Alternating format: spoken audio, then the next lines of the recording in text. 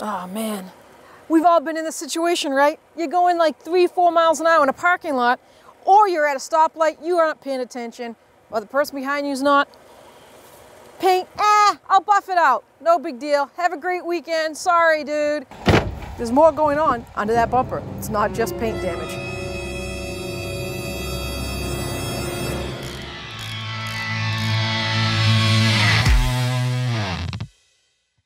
So I grabbed two AC condensers just so you could see what they look like. Maybe you know what they look like, maybe you don't. But what I wanted to show you is a brand new one. This is brand new, hasn't been installed yet. This one is used. We here at 1A Auto sell quite a bit of these at 1AAuto.com. And the reason being, they're in the front of the car so they can easily get damaged. So now that I've got this used one all by itself, you can truly see just how dirty it gets for one. You've seen these before in your car. They're in front of the radiator. Some people say, oh, I have two radiators. No, you don't. It's an AC condenser. So the AC Freon runs through this and it gets cooled down. That's why it's in the front of the car.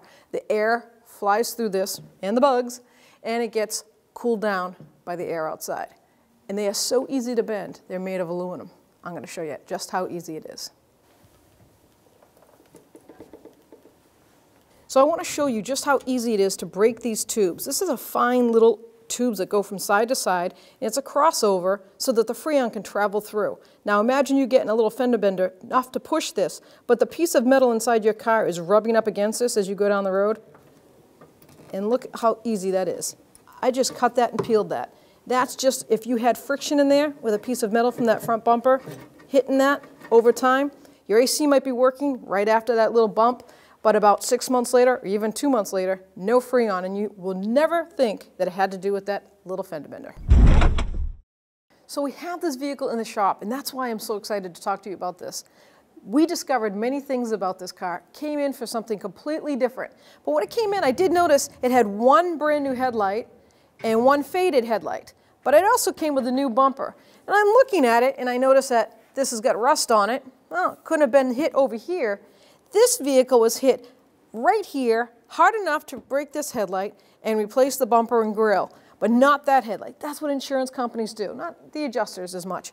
But underneath, these people didn't realize what happened because the AC at the time is working, and that's all the adjusters care about. So I got this all ready to come apart so I can give you a quick visual of what's going on here. This comes off, and that comes off. And there's our AC condenser exposed. So here's the AC condenser right here, and here's the bumper that got replaced.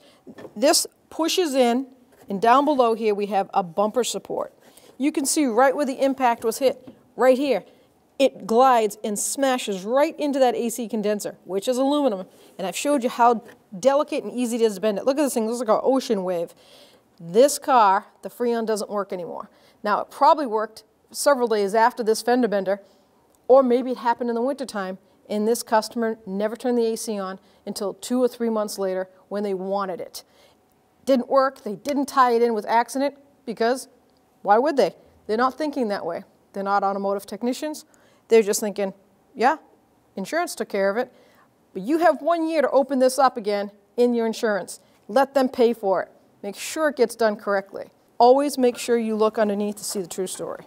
So if you're looking at something like this and it's been years since the accident, or maybe you just bought a car like this, you think, man, I don't want to spend that much money on this car, you can do it yourself very easily going to 1AAuto.com, that site. We sell thousands of applications for these condensers for cars or trucks and step by step for the videos. You just have to go to your local shop, get your AC recycled out, evacuated, then you can do the repair, bring it back there, have them vacuum it, and fill it up with AC, and down the road you go.